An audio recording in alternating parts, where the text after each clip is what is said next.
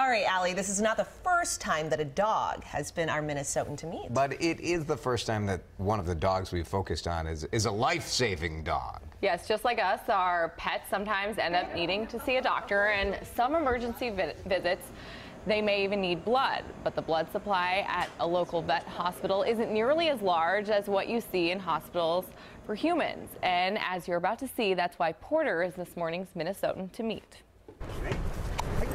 First glance, Porter is your typical black lab, very playful. The staff here at the University of Minnesota Vet Hospital has certainly taken a liking to him.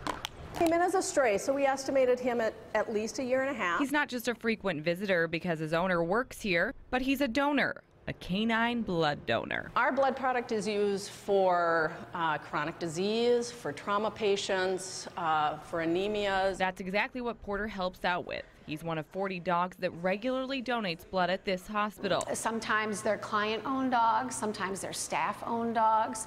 Um, so they're volunteer. A lot of them are volunteers. 9 to 15 units of canine blood are kept in a small fridge ready to go for the next pup who needs it. You could say he's getting used to it. Good boy, stay here, honey. Yes, there you are. Porter doesn't seem to mind the procedure. It takes about 10 to 15 minutes. All right. First through the skin. Go boy. Oh, who is the best dog ever? And then another 45 to replenish fluids. It's a good boy.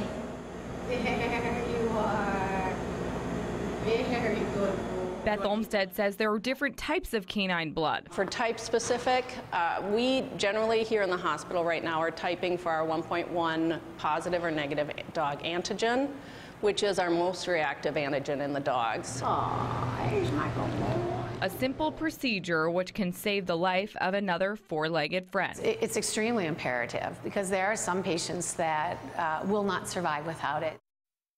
Now, on average, Porter donates once every eight weeks. He joined the blood donation program a little over three years ago and has donated 20 times. I've never even been able to donate my blood because my iron levels aren't high enough. So it's crazy to think that this dog has Right? donated that right. much. Does the dog get a cookie at the end, just like us when we donate? No, he just gets a lot of love. Just a little love. Uh, can any dog donate blood? Well, there are some criteria that you need to look at if you are considering maybe uh, possibly uh, doing blood donations for your dogs. They need to be a friendly and happy, a good spirited dog.